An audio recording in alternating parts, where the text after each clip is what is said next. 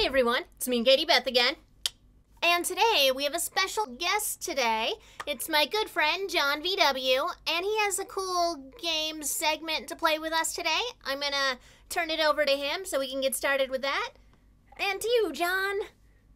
Hey, Katie Beth.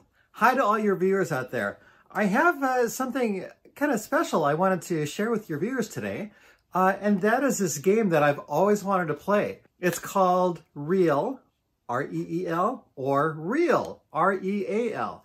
And what we do is we take a look at a movie that's supposedly based on a true story. And we take a look at some aspects of that movie, a couple scenes, and we decide, is that real, as in, did it really happen? Or is it reel, as in made for the big screen, a dramatization?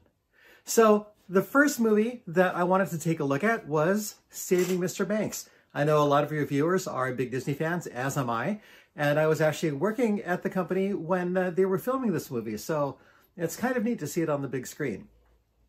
So let's take a look at Saving Mr. Banks. Saving Mr. Banks tells the story of how Walt Disney took the Mary Poppins character from P.L. Travers and turned it into the iconic movie that we all know that it is. Now, this wasn't an easy journey. There were a lot of crazy moments. And for the most part, the movie gets it right. But there are a couple scenes that you gotta wonder, did they really happen? Or was that made up for the movie? So let's take a look at a couple of those scenes. In one scene in the movie, P.L. Travers is taken on a trip to Disneyland by none other than Walt Disney himself. Hey, who wouldn't like Walt Disney as their own Disney tour guide? I know I would. This is a pretty pivotal moment in the movie because she finally gets to see how other people see Walt Disney and his creation. We see them take a trip up Main Street and ultimately take a ride on the King Arthur Carousel. So the question is, was this real? Did it really happen? Or was it reel, as in made up for the movie? So what do you think it is?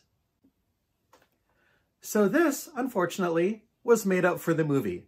As far as we know, it never really happened. Now, it is somewhat reminiscent of actual happenings because Walt Disney was known to take special guests and dignitaries to Disneyland Park to show off the park to his friends. So while this could have happened and did happen with other people, as far as we know, it never happened with Mrs. Travers.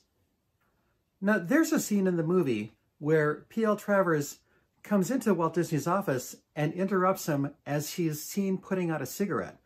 Now, he makes a mention that he doesn't like people seeing him smoking. So the question is, is that real? Did it really happen?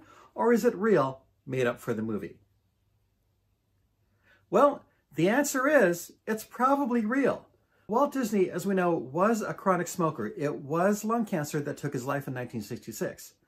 But he wasn't really a fan of people seeing him smoke. He wanted to set a good example to children, and he knew and openly expressed that smoking was a nasty habit. Now, in one pivotal scene in the movie, Walt Disney overhears the song Feed the Birds being played by Richard Sherman on the piano. He walks in, stands quietly by, listens to him sing the entire thing, and at the end of it says a famous line, that'll work. Question is, is this real? As in, did it actually happen? Or was it made up for the movie? What do you think?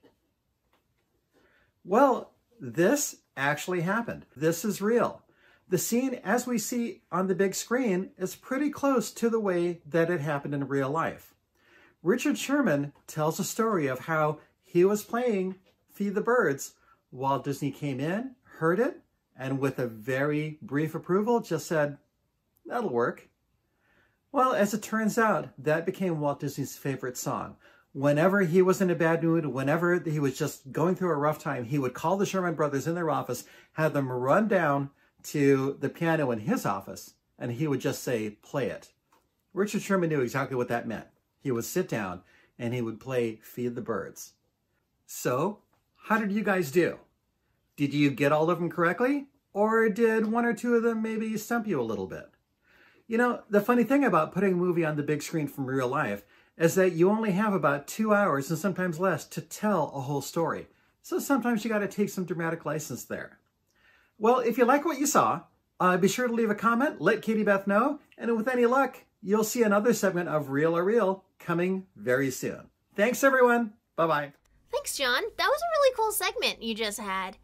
I can tell you really did a lot of research in that. Really cool, really appreciate that. And a big thanks to all of you out there who are watching.